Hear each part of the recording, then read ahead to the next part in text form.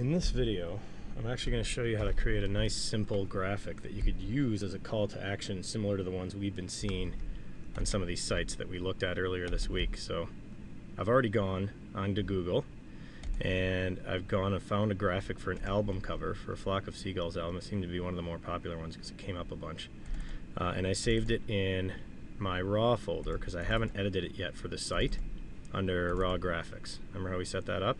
And it's just called album cover. So I'm going to open it up. First thing I'm going to do right away, check the size because we don't want to use anything on our site that's already way bigger than the divisions on our site. My guess is it's going to be a little large because it's taken a while to open. Okay, so while that's happening, we can go over here to the index page and down here we're going to have um, uh, the store, the record store or whatever.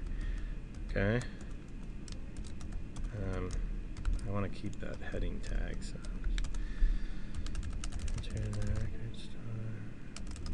coupons. You know what? This is just going to be coupons. Coupons for this month, okay? And then I'm going to put a call to action here. Okay, so I'm just going to leave that space now for me to put it into. So this division is content. If we go to content main, uh, that's at 100%. How wide is content? What's main? So the whole thing is 767, which means if content's at 100,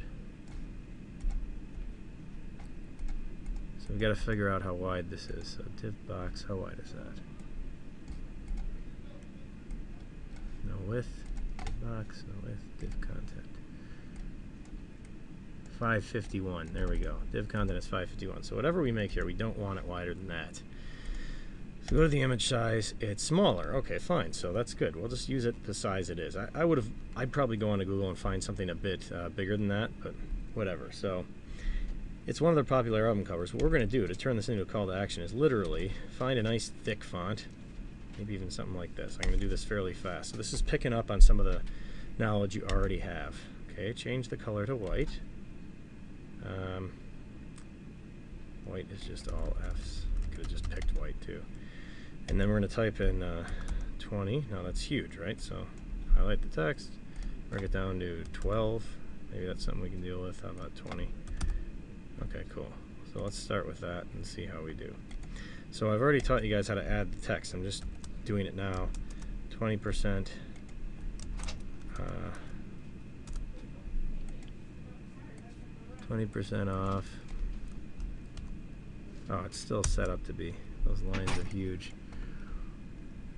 This is the problem. That's something I set on from before, so this should be about the same size as the font. Okay, 20% off. Uh,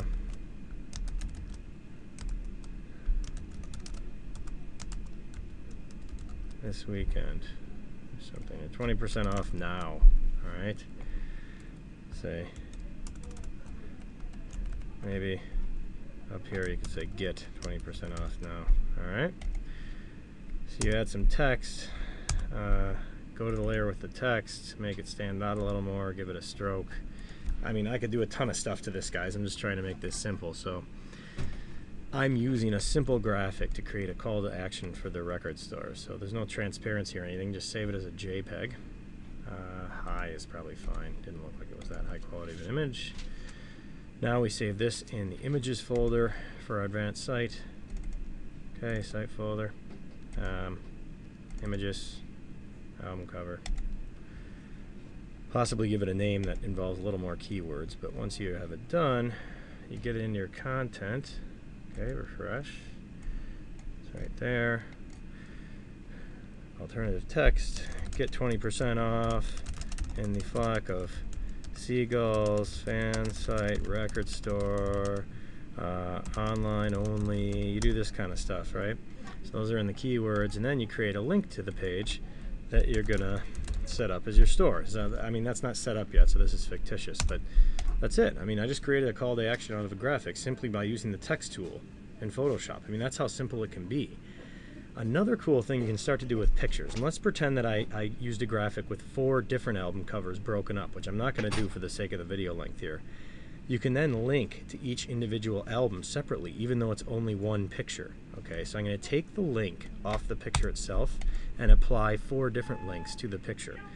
This is really neat, and it's called hotspots. Okay, so if you go to the Common tab in Classic, hotspots should be one of your choices because it's it's actually a fairly common uh, tool to be used. So you click it, and once you click on it, okay, you're going to have a different looking cursor, and you're going to be able to draw a hotspot. And then it says describe the image. So you got to go down here, give it a link, and say store album one or whatever the, the hyperlink is, right? You link directly to it. Um, if it's in your site, out of your site, whatever, .html. Target can stay the same. You can have alternative uh, content still for just that link as opposed to only having it for the picture. So buy album one now, and obviously you'd have a real name for the album. So there you go. I want to do four more. Okay, well, check this out. Draw the other hotspot, draw it right there, put in the information. I'm not going to put it in quite yet. Go here, draw another hotspot here, put in the information, yada, yada, yada, draw a hotspot. So graphics are very cool in the sense that you can actually create multiple links inside of the same graphic as long as you have the graphic in your HTML. You will not be able to draw hotspots over CSS images. So this image is in the background of the CSS and the banner. You can't use hotspots there. It has to be over a JPEG, PNG, or GIF, and then you can do hotspot um, links okay and then each of the links would go to the different pages you've set up for each of those albums and obviously this isn't the best example because I don't want to make another graphic and make the video all long but that's hotspots right there in the common tab. Really cool way to specify one specific area for for a link and I'm going to show you a great example of something I did like that. Um,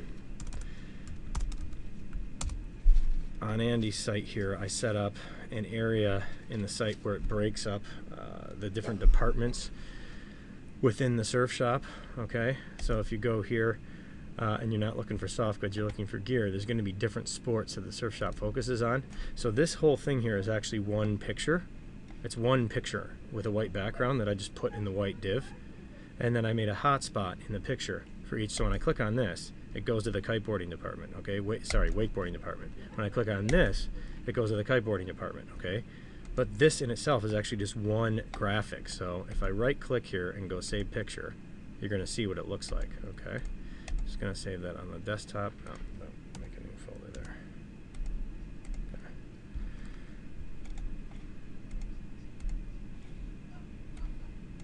Okay. Oh, I actually gave that a transparent background. Okay, well, regardless, I could have given it a white background and made a smaller graphic, but that's the picture.